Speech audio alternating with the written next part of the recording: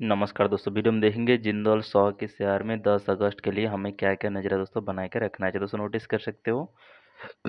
Sorry Jindal सौ का हम देख रहे हैं डेली टाइम फ्रेम पे चार्ट लगा हुआ है।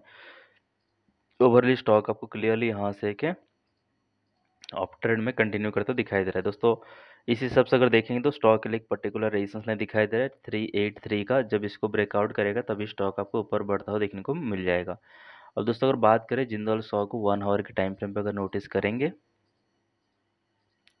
तो आपको यहाँ पे रेजिस्टेंस लाइन तीन सौ छप्पन पॉइंट फोर ज़ीरो का नज़र आ रहा है। Next resistance line three three seven four पे दिखाई दे रहा है।